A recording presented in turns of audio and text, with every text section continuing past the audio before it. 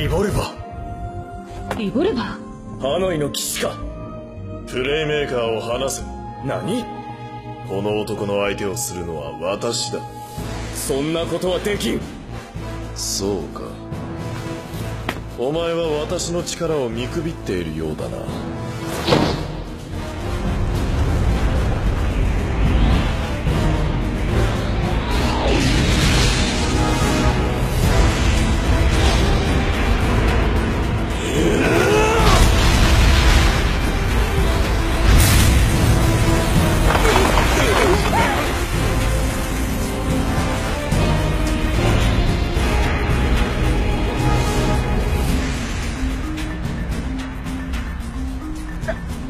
こいつ。データストーンを自在に操るなんて。私がリンクブレインズを破壊することなどたやすいことだ。だがそんなことはどうでもいい。私の目的はたった一つ。プレイメーカーが持つ AI だからといって渡せると思うのか？お前は渡すさ我々がブルーエンジェル。お前の妹に電脳ウイルスを仕込んだ何？あのウイルスは我々でしか除去できない。なぜ妹を？人質だよ。人質だと？誰でもよかったのだ。プレイメーカーの正義感を煽りおびき出せるならな。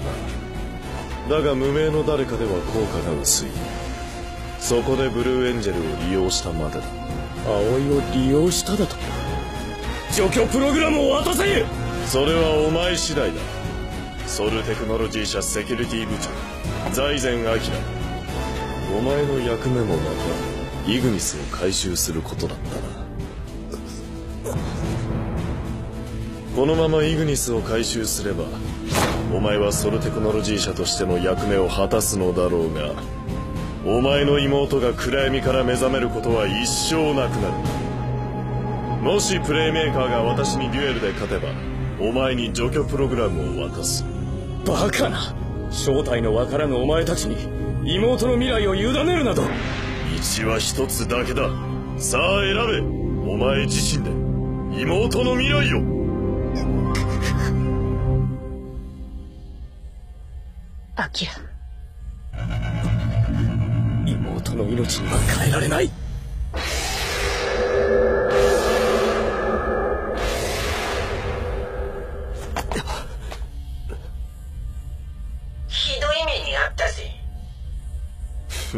待っているぞプレイメーカー。